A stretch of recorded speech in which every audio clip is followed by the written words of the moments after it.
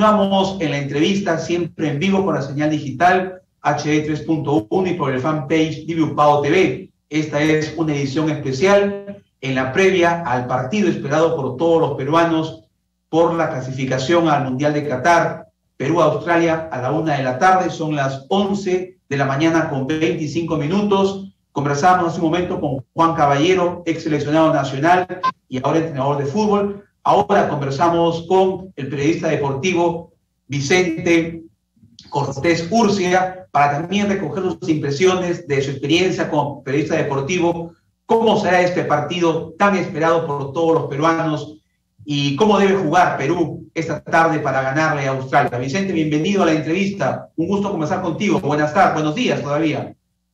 ¿Qué tal, amigo Alberto Pinillo? Muy buenos días para usted y para todos los televidentes de UPAO Televisión que están eh, en estos momentos, eh, al igual que, que, usted, que yo, ansiosos ya por vivir este partido trascendental de nuestra selección. Como usted lo ha dicho, eh, es un partido de, vida o muerte para nuestra selección. creo que es el más importante de los últimos años ya creo que ha superado en expectativa a lo que se vivió hace cuatro años atrás contra Nueva Zelanda. El rival, obviamente, Australia es un, rival, un oponente mucho más duro, mucho más fuerte, que viene de jugar en la Confederación Asiática y viene de eliminar a los Emiratos Árabes. Y obviamente se le respeta, pero hay mucho optimismo, obviamente, de nuestra parte de poder sacar adelante un partido en el que depende de, la concentración y de la, eh, ¿cómo decirlo?, de la buena puntería de nuestros delanteros, de nuestros jugadores para poder lograr el penúltimo boleto hacia Qatar 2022. Así es, Vicente, hay mucha expectativa, también hay mucha fe, como se dice, en este equipo peruano dirigido por Ricardo Gareca, que le cambió la historia, la cara al fútbol peruano en estos últimos años. Eh, ¿Cuáles son los mejores argumentos que tiene Perú para pensar en una victoria la tarde de hoy, Vicente, de tu experiencia como periodista deportivo? Bueno, eh, considero que Perú tiene argumentos suficientes como, para poder ser un equipo o el equipo ganador y obviamente el penúltimo clasificado al Mundial de Qatar. Eh, obviamente primero por, eh, el grupo, el grupo humano que ha sabido emparejar muy bien el entrenador Ricardo Gareca. Son siete años de trabajo del Tigre al mando de la selección, en donde ha podido, eh, como mucho se habla, hacer una burbuja ¿no? De, de, jugadores que obviamente partido tras partido han ido asimilando lo bueno, lo malo de del fútbol de cada, de cada rival y eso ha permitido que poco a poco vayan madurando considero que la selección de hoy es mucho más fuerte mentalmente y físicamente a diferencia de hace cuatro años atrás de Rusia 2018. ¿no? Obviamente ha valido la pena y ha sido muy acertada también eh, que se hayan encontrado también y, reagrupado jugadores que eh, durante el camino consideramos de repente un poco lejanos o imposibles de, volver a, a, formar parte de la selección, ¿no? Hablo del caso, por ejemplo, de eh, Carlos Zambrano, que años atrás era un jugador muy indisciplinado, que era muy fosforito, por así decirlo, y en muchos partidos, obviamente, por su carácter eh, y por su calentura dentro de la cancha, de repente por ahí valía alguna, alguna expulsión por parte de él y por ahí nos perjudicaba numéricamente. Otro jugador que también considero valioso su, su ingreso a la selección en estas últimas eliminatorias es el de Gianluca Lapadula, ¿no?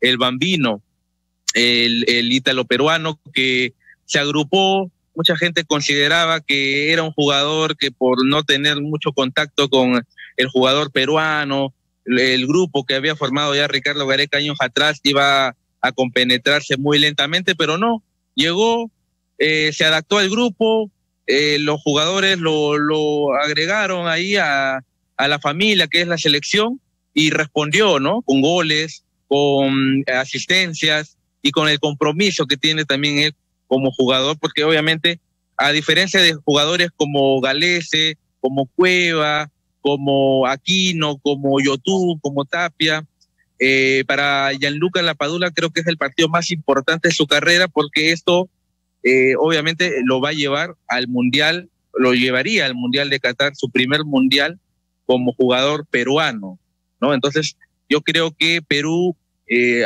tiene talento humano, tiene táctica, tiene habilidad, tiene compromiso y creo que todo, todos esos ingredientes se van a ver obviamente reflejados esta tarde en el partido contra Australia, un rival que considero yo de respeto, pero que nosotros podemos en los 90 minutos eh, con mucha actitud poder ganar. Vicente, ¿cómo impacta en la selección eh, la baja de Yotun?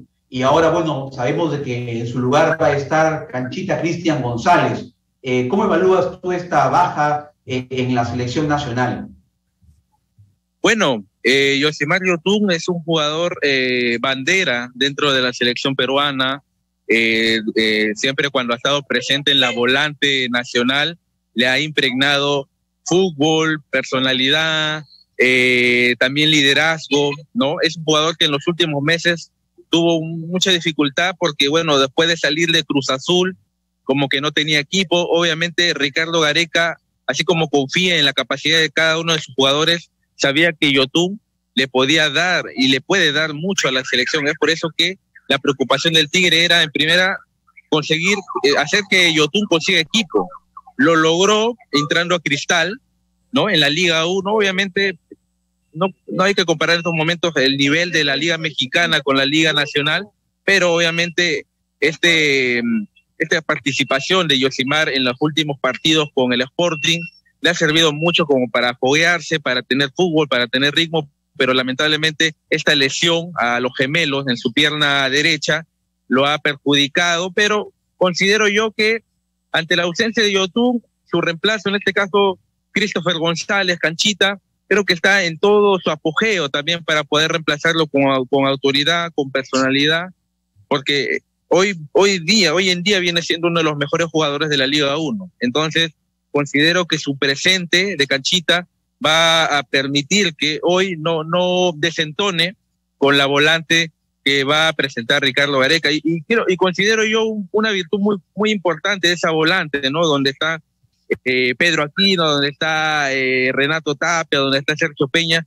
Todos los jugadores, creo yo que tienen un presente un poco irregular en sus clubes, pero cuando llegan a la selección se transforman, son jugadores con carácter, con personalidad, y esto ha permitido que eh, nuestra volante sea una volante muy, muy nutritiva. Y considero que a pesar de esa baja de Yosimar, creo que la selección va a salir con todo y las variantes que puedan darse en, durante los 90 minutos creo que no, no van a, a, a desentonar a lo que exige el entrenador esta tarde. Ahora, ¿de qué tendríamos que cuidarnos del rival, eh, Vicente? Eh, si bien es cierto, como ya eh, todos hemos comentado, por historia, por tradición, por eh, nivel de fútbol, individualidades y por equipo, de manera colectiva también, Perú aparece con, como favorito frente a Australia, pero este equipo australiano también tiene lo suyo. ¿De qué tendría que Perú cuidarse para no dejar de sorprender por este equipo australiano? Bueno, de Australia, eh, lo, lo, más, lo más característico que tienen los canguros es obviamente su juego aéreo, obviamente por la talla. Son jugadores de más o menos un metro ochenta, un metro ochenta y cinco, un metro noventa de promedio de estatura. Y son jugadores pues que eh, en, en, su mayoría militan pues en, en ligas un poco pues eh, rápidas, de mucha potencia como la liga o como la Premier League, ¿no? Entonces, creo yo que eh, Australia tiene como características principales el eh, juego de altura y el juego físico, ¿no?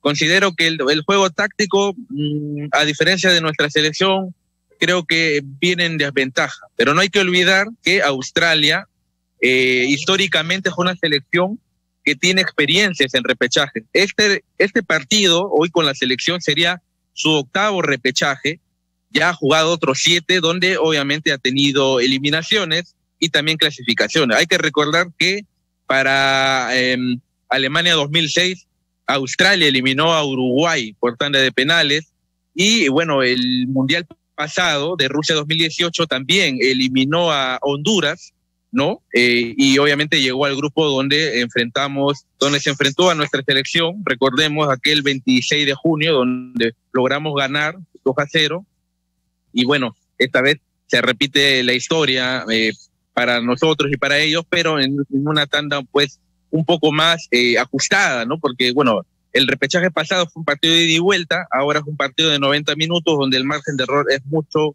mucho menor. Entonces, considero yo que Australia eh, va a jugar, va a querer jugar con la presión de Perú, con la ansiedad, porque obviamente Perú va a ser local eh, allá en Qatar y por ahí puede eso hacer que los toqueros puedan eh, querer desestabilizarnos, tanto física como emocionalmente, pero bueno, como le repetía, eh, la fuerza mental y la fuerza física de los jugadores peruanos eh, va a servirle mucho y nos va a ayudar a conseguir un buen resultado, creo yo, esta tarde en Qatar. Así que vamos con mucho optimismo, con mucha fuerza y a esperar que nuestra selección nos dé una gran alegría eh, esta tarde clasificando a su segundo mundial consecutivo y al sexto de nuestra historia también.